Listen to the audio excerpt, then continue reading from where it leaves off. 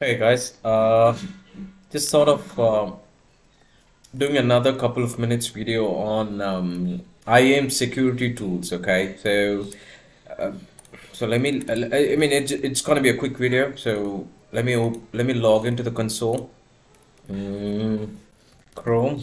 So I'm logging into my admin account. So this is the one.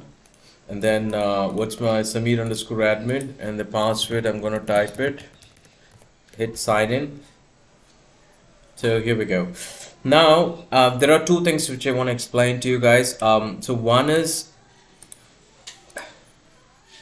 okay. Here we go. So one is IAM. I mean IAM security tools. Okay, so this is a topic for, uh, for today, and under IAM security tools, I'm gonna talk about two things. Okay, the first one is credentials report, and the next one is access advisor. Okay, so what is credentials report? What is what is access advisor? So here, if you go to IAM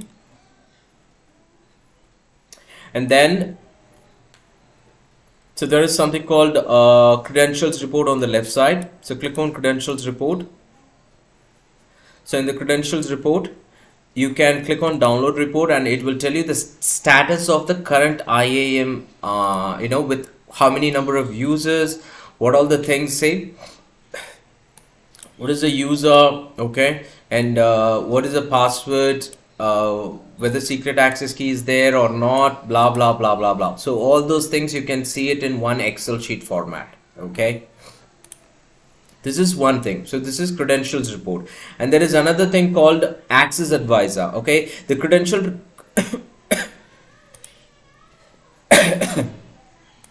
i'm sorry okay so credential report is from the account level, okay? But there is something else, it's called access advisor. If you hit on users, each user as an admin, you can see, okay, so Srinivas, you clicked on Srinivas and you can see access advisor here. And you can see what all the things he was accessing it. So access advisor reports activity for services and EC2, Lambda and S3. To view actions, choose a service name from the list. Recent service activity usually appears within four hours. Okay say for example Samir Amazon S3 I have access today last accessed.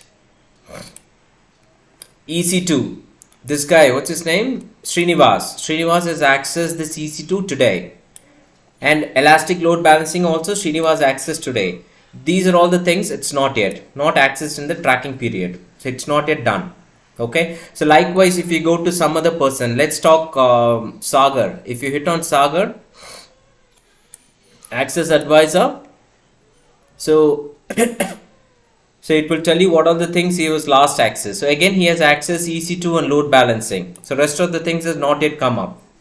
Okay? So there are two things. One is credential report and the other one is access advisor. Credential report is from the account level okay?